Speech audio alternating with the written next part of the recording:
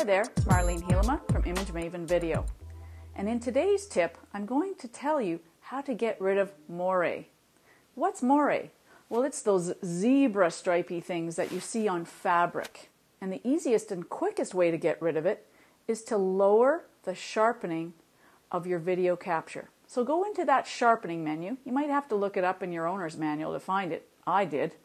And set it to the very minimal no sharpening at all. So you don't want any sharpening. And you can also lower your contrast all the way while you're at it. Most DSLR cameras allow you to use a user-defined preset.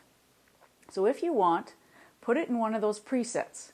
And when you're shooting video, make sure you put it on that preset. If you're shooting photographs that are JPEGs, you probably want a bit of sharpening applied. And if you shoot RAW files for still photos, well then you can apply that sharpening after the fact. But it's very important in video that you control that better. So to get rid of moire, lower your sharpening. Get rid of it altogether. Put your sharpness at zero. Hope that helps, and I hope you enjoyed this little tip about shooting DSLR video. Talk to you soon.